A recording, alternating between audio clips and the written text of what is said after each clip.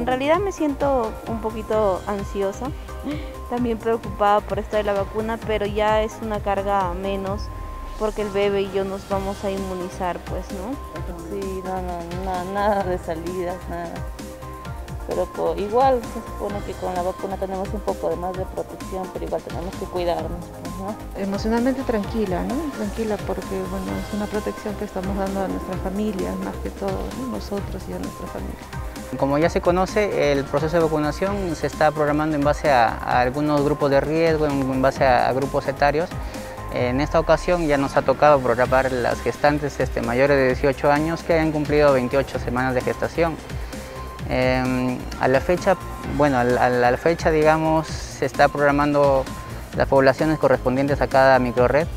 En esta ocasión hemos tenido programadas aproximadamente 160 gestantes que se vienen atendiendo en el transcurso de la mañana, pero la, afluencia es poca, mm, vamos quizás poco menos del 50% de la población, que ojalá en el transcurso de la mañana estén, estén llegando.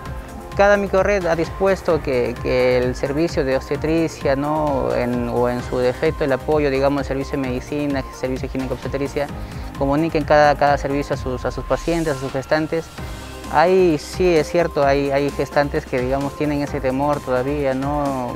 digamos, por un nivel este, cultural de repente o por, ciertos comentarios que creen que la vacuna les puede hacer daño a ellas o al, o al, bebé que llevan dentro. Entonces, sí hay quienes eh, se, han, se han sentido un poco preocupadas por esa situación porque están en la disyuntiva de colocarse o no colocarse. ¿no?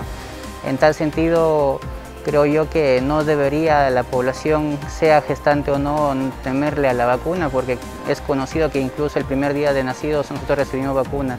Entonces es una, una estrategia válida, es una, una, estrategia segura para podernos proteger, más aún si ahora estamos expuestos no solamente a COVID, sino a otras enfermedades.